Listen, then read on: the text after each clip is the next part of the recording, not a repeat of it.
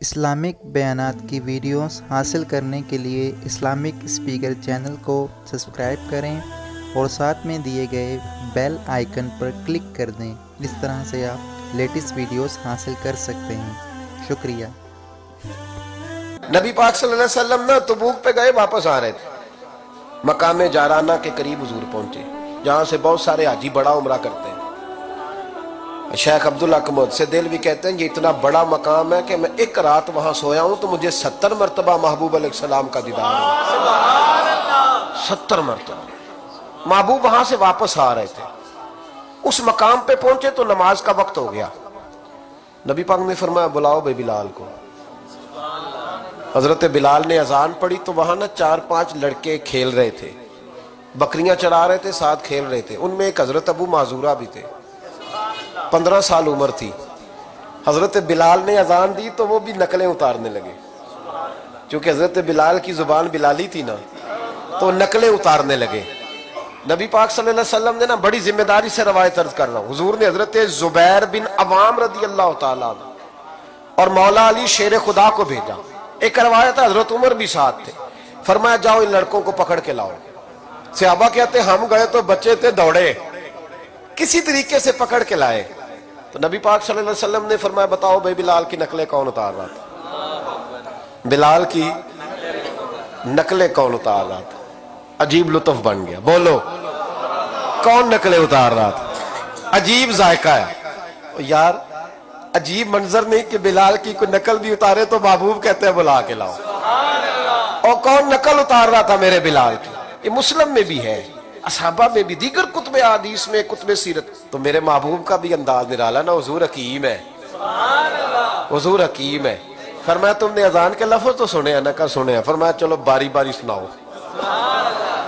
محبوب نے سن لیا نا؟ فرمایا چلو باری باری سناؤ۔ اب بچے کیا کرتے؟ پہلے تو تیہ کر لیا کہ بتانا نہیں۔ نقلیں اتار رہے تھے حضرت ابو معذورہ۔ محبوب علیہ السلام نے فرمایا چلو باری باری سناؤ۔ پہلے حضور نے اجتماعی طور پہ پوچھا، تم نے سنی ہے اذان کا؟ سنی ہے باری باری سناؤ۔ اب چونکہ کہہ بیٹھے تھے کہ سنی ہے۔ اب کیا کرتے؟ سنانی تھی۔ ایک نے سنائی، حضور نے فرمایا تو جا۔ دوسرے سنائی، فرمایا تو بھی جا۔ تیسرے نے سنائی، کہا تو بھی جا۔ چوتھے نے سنائی، تو بھی جا۔ چھٹے، ساتویں نمبر پہ ابو معذورہ کہتے ہیں، میرا بھی نمبر لگ گیا۔ عمر تھی پندرہ سال، پر بس کسی کی نظر پڑ گئی۔ اس کی پڑ گئی جس کی نظر بیڑا پار کر دیتی ہے۔ اللہ کرے کسی کی نظر پڑ جائے۔ کام بن جائے۔ تیری ایک نظر کا کمال ہے۔ میری زندگی کا سوال ہے۔ یا رسول اللہ، انظر حالانا اس کا ترجمہ یہی ہے کہ ایک نظر کرم کرو۔ یا رسول اللہ ہے انظر حالنا۔ محبوب علیہ السلام، اب چھٹا ساتواں نمبر لگا تو کہا تو بھی سنا۔ تب معذورہ سریلے تھے۔ کانوں میں انگلی لی، حضرت بلال کی نقل اتاری تو بڑی پیاری۔ حضور نے فرمایا، جو باقی بچے ہیں وہ بھی سارے جاؤ۔ بندہ مل گیا ہمیں۔ ابو معذورہ کہتے ہیں، میں کاپنے لگا۔ ادھر والے بھی چلے گئے، ادھر والے بھی، میں بیچ میں رہ گیا۔ فرمایا، پھر سناؤ۔ کہتے دو دفعہ سنایا۔ فرمایا، نہیں یار، مزہ آیا، پھر سناؤ۔ کہتے ہیں، تین دفعہ جب میں سنایا تو میں نے محبوب کے چہرے پہ روشنی دیکھی۔ اور سجنوں بلال کی کوئی نقل اتارے تو صحیح۔ کہتے ہیں، روشنی دیکھی، حضور اٹھے اور حضور نے میرے سر پہ ہاتھ پھیرا اور دعا کی۔ اللہ مبارک فی ہے اللہ مبارک فی ہے وحدی ہی الاسلام۔ یہ میرے محبوب کے لفظ ہیں۔ نبی پاک نے کہا ہے اللہ، میں تیری بارگاہ میں عرض کرتا ہوں، اسے برکت بھی دے دے اور اسلام کے رستے کی ہدایت بھی دے دے۔ حضرت ابو معذورہ کہتے ہیں، سر پہ ہاتھ اور ادھر دعا۔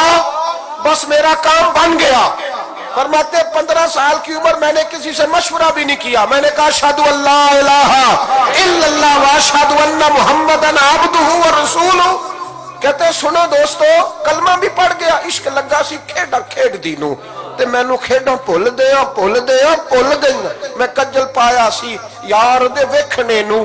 پھر او دی یاد چ روندے ہی ڈول گئیاں۔